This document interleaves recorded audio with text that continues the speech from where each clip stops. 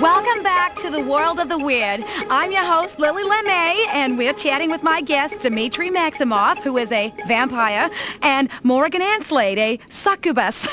And we're talking about evil. Yes, evil, my favorite subject. Oh, not that you knew anything about it. I know more about evil than you can imagine. Oh, he read a book once, folks. While you, you pathetic dabbler... Fat-faced fool!